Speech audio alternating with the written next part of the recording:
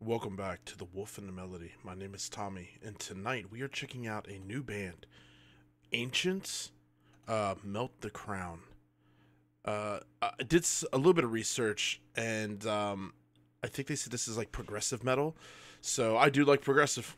I do like me some progressive. So, and it's off of Season of Mist, which you know we love Season of Mist here on the channel. So I'm excited, and I'm curious to check this out. Y'all, thank you so much for being here thank you for being a part of this community and making it what it is. I want this this place to be an encouragement to you. A place where you laugh, you smile, you discover new music. You know, we we obviously focus on reviews and reactions. We also do a lot of interviews. I have a big actually a big interview this week, so you will you will see. You will hear about it very soon. But uh, again, just um I'm just grateful you're here and just take a time out of your day. I know you could be anywhere else. So let's check this out. Excuse me. Great album art. Beyond the reach of the sun.